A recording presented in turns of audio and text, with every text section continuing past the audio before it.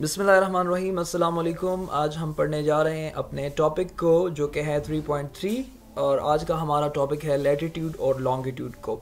हम समझते हैं कि लेटीट्यूड किसे कहते हैं लॉन्गिट्यूड किसे कहते हैं। इसका असर क्या होगा क्लाइमेट पर और टाइम जोन पर, वो हम नेक्स्ट लेक्चर में पढ़ेंगे, लेकिन यहाँ पर हम सिर्फ़ इसको समझते हैं कि लेटीट्यूड और लॉन्गिट्यूड असल में है क्या।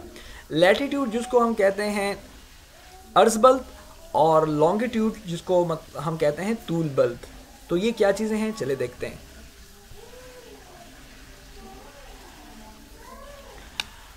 जी तो इस क्लास के, इस लेक्चर के हमारे जो ऑब्जेक्टिव्स हैं, वो ये हैं कि हम ये समझ सके lines of longitude and latitudes को formation of hemispheres by longitude and latitude tropic of cancer and Capricorn all important facts and information about all relevant terms ये हमारे ऑब्जेक्टिव्स हैं, जिसको हम समझेंगे समझने की कोशिश करेंगे। सबसे पहले बात करते हैं लेटीट्यूड की। लेटीट्यूड में सबसे इंपॉर्टेंट जो लाइन वाक़ है, वो है इक्वेटर की। इक्वेटर क्या चीज़ है? इक्वेटर वो चीज़ है जो पूरी दुनिया को, पूरी ज़मीन को वेस्ट से, ये वेस्ट है, ये वेस्ट है, ये वेस्ट से ईस्ट की तरफ़ ये लाइन जाती है, एक फर्जी लाइन होती है और पूरी ज़मीन को ये तकसीम करती है। ठीक है?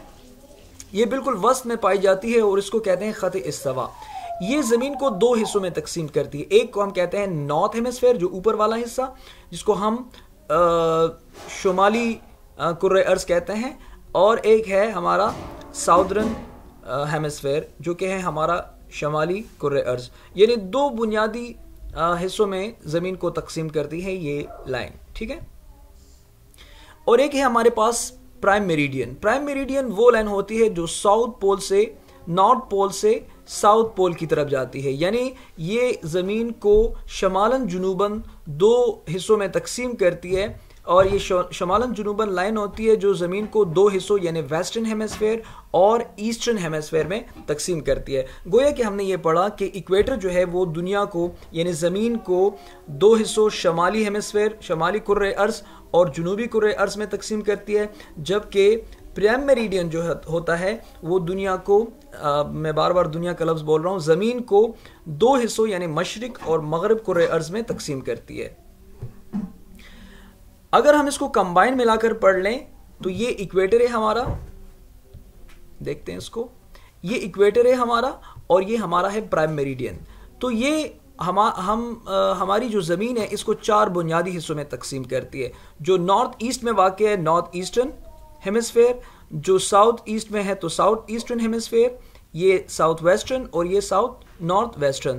तो बुनियादी तौर पर ये जो दो खतूत हैं, ये फर्जी खतूत, एक जो नॉर्थ पोल से साउथ पोल की तरफ़ जाती है, बिल्कुल बीच में, और एक जो वेस्ट से ईस्ट की तरफ़ जाती है।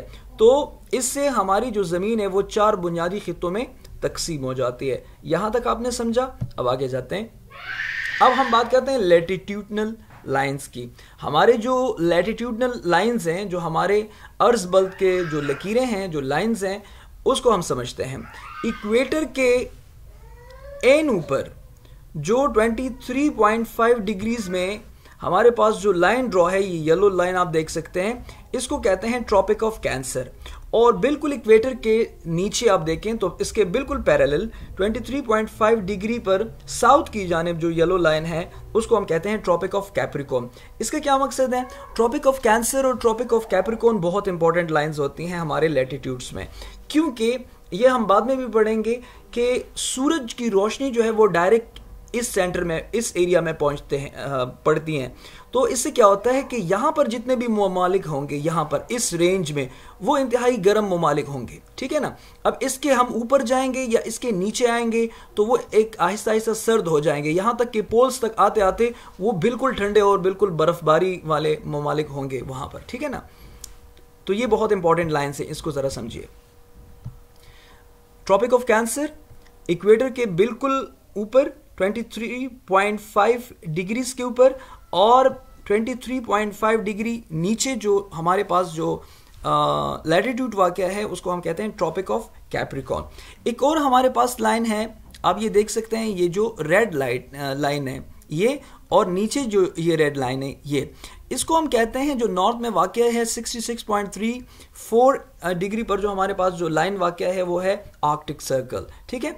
और ये नीचे जो वाक़ है, इसी रेंज में, इसी बिल्कुल पैरेलल इसी डिग्री पर तो उसको कहते हैं एंटार्कटिक सर्कल और फिर आप जब बिल्कुल मोस्ट नॉर्थ मोस्ट में चले जाएँ तो 90 डिग्री पर हमारे पास नॉर्थ पोल वाक़ है, बिल्कुल और यहाँ पर साउथ की जानब अगर आप जाएँ तो साउथ पोल 90 डिग्री में वाक़ है।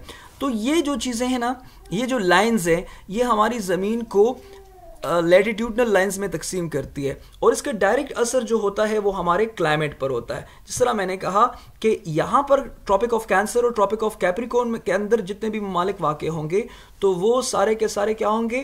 क्योंकि उस पर सूरज की रोशनी बरह रास्त पड़ती है तो इसलिए वहाँ पर जितने भी ममालिक होंगे तो वो गर्म होंगे और यहाँ तक आहिस्ता आहिस्ता पोल्स की जानब जब हम बढ़ेंगे तो वो ठंडे होते चले जाएँगे, ठीक है?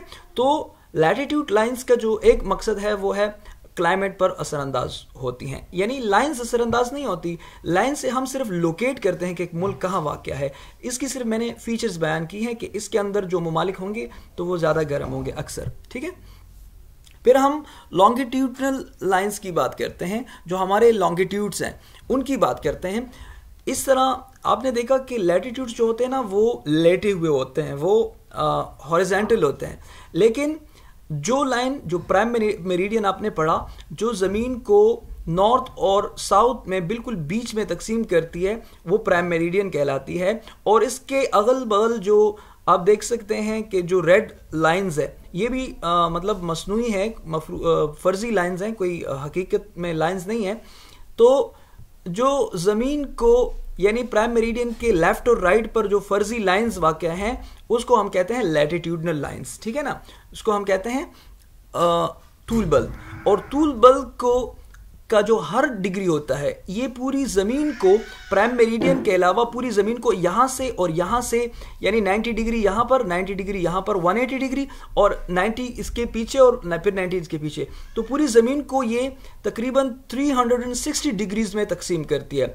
हर डिग्री इंपॉर्टेंट चीज़ है। हर डिग्री जो होती है वो 111 किलोमीटर या 49 माइल्स पर मुश्तमिल होती है और ये इसकी खूबी ये है कि जिस तरह इक्वेटर के ऊपर और नीचे कैप्रिकॉन और कैंसर का या फिर आर्कटिक और एंटार्कटिक की जो लाइंस थी, वो बिल्कुल पैरेलल थी, बिल्कुल एक सेम डिग्री पर वाक़ थी। लेकिन लॉन्गिट्यूड्स में ये बात है कि लॉन्गिट्यूड्स जो होते हैं, वो इक्वेटर पर वाइडर होते हैं और जहाँ जब जब ये पोल्स की जानब जाते हैं तो ये आपस में मिल जाते हैं। यानी पोल्स पर जाते हुए ये नैरो शक्ल इख्तियार करते हैं, जबकि यहाँ पर वाइड होते हैं। हालाँकि इक्वेटर में जो लेटीट्यूड्स हैं, उसमें ये बात नहीं थी। ठीक है? तो ये बहुत इंपॉर्टेंट चीज़ है। इससे हम क्या करते हैं। इससे अगेन uh, वही वही बात थी कि लेटीट्यूड्स और लॉन्गिट्यूड से बेसिकली हम किसी मुल्क को लोकेट करते हैं कि एक मुल्क कहाँ पर वाक़ है। लेकिन लेटीट्यूड्स जो हैं वो हमारे टाइम फिक्सेशन में हमारे टाइम जोन्स में बड़े इंपॉर्टेंट रोल प्ले करते हैं। क्योंकि हर एक डिग्री जो है वो आ, उसकी आ, एक टाइम होती है।